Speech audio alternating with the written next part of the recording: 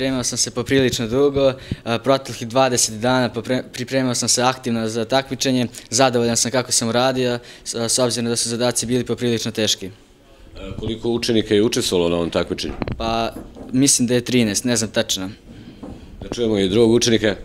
Šta, pripremao sam se pa ne baš toliko dugo, zato što opštinsko takmičenje je bilo, ne znam tačno koji datum već je bio, ali okružno takmičenje je bilo nedelju dana posle samo i tako da nisam imao baš vremena da se spremima. Imalo je uticaja i to što na prethodnim okružnim takmičenjima e, palo se, dru, drugačiji zadaci su bili nego svak drugo gradivo. Bilo pa nisam baš pogodio zadatke koje treba da vežbam i to. I to je imalo uticaja.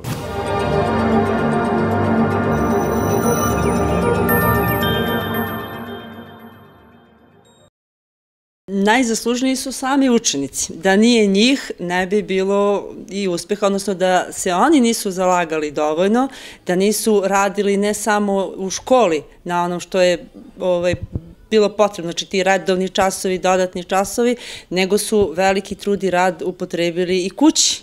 Ovaj, znači morao je i rad i kući, a i iskustvo, bogami, iz osnovne škole i neki kontinuirani rad od šestog razreda, tako kada oni e, imaju nastavu fizike.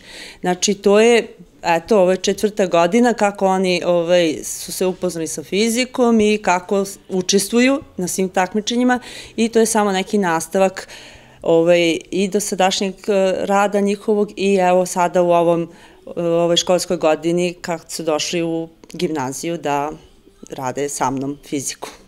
Da li postoje neke indicije za odlazak na republičko takmičenje? Očekuju se rezultati ili tako? Pa, rezultate očekujemo. Ovaj, svi su predali ovaj, svoje izveštaje državnoj komisiji, ali sad je na njima da odredi e, granicu i da vidimo na osnovu toga da na te granice po broju bodova, kako smo se plasirali, da li smo se uopšte plasirali. Znači mi očekujemo, pa će da se pripremamo, malo više ćemo još truda da uložimo.